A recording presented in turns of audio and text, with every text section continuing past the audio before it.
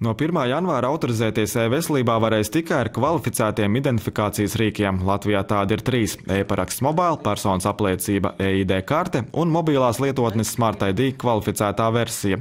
Līdz šim ierastā iespēja piekļūt datiem ar internetbanku vairs nederēs. Nu, parastai internetbankai tur jāņem vērā, ka tur ir uh, finansiālā sektora prasības, uh, kas, kas arī virzītas ir uz drošumu bet tomēr šī gadījumā tiek šie kvalificētie līdzekļi tiek uzskatīti, ka to sniegtā uzticamība ir augstāka. Izmaiņas tiek ieviestas, lai izpildītu drošības prasības un ievērotu normatīvo aktu noteikumus. Tad, kad mēs klātienē dodamies uz poliklīniku, mums uh, šķiet absolūti normāli. Pirmais solis reģistratūrā mēs uzrādām savu personu apliecinošu dokumentu.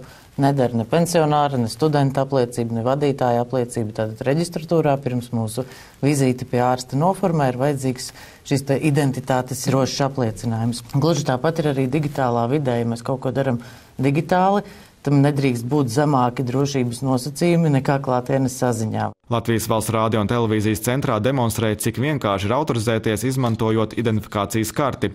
Saņemot šo personu apliecinošo dokumentu, līdz nāk PIN kodi. Lai šo karti izmantotu, būs nepieciešams savienot ar datoru, būs nepieciešams kartes lasītājs. Tie ir, nu, sākot no 3, 4, 5 eiro cenā nopērkami gan internetu veikalos, gan elektronikas preču veikalos klātienē.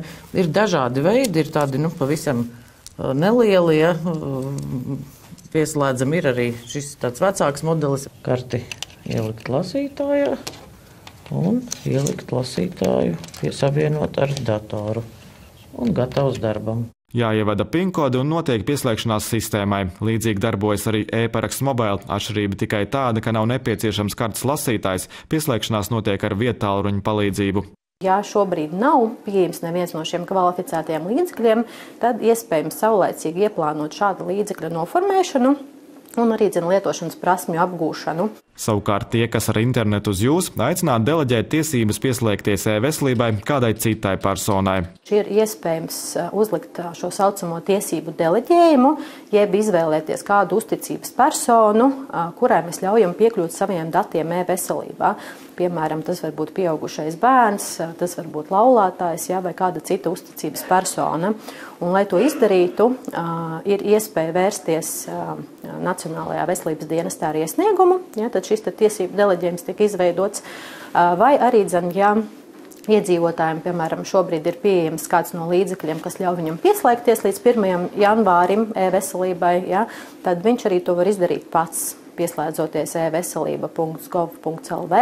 Jāpiemina, ka Latvijas valsts radio un televīzijas centrs divas reizes mēnesī nodrošina arī tiešsaistes apmācības par e-paraksta lietošanu.